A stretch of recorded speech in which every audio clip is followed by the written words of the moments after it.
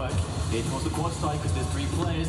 On coming to his position, he's looking for the pop flash now against the arch there inside the box side. It's just creeps through arch, and he is going to just go straight forward onto the side. This is such a close moment. Hayes goes down for nothing. With finesse, JDM gets the and now it's in this round to stay with DLD in this moment as Na'Vi rests on match point for the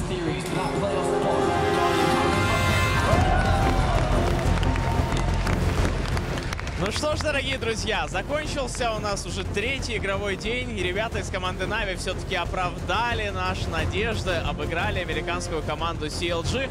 Достойная победа.